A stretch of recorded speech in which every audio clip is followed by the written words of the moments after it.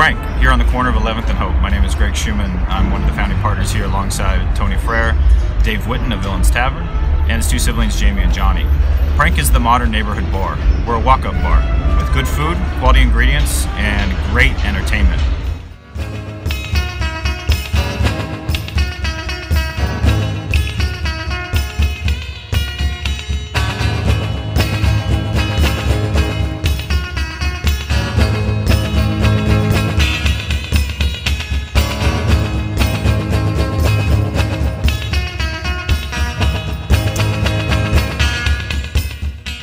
Longtime residents here in downtown LA, specifically here in South Park, uh, we absolutely fell in love with the opportunity to be part of all of the growth that is happening here between the new residences, the new hotels, our proximity within Staples Center, and the convention center.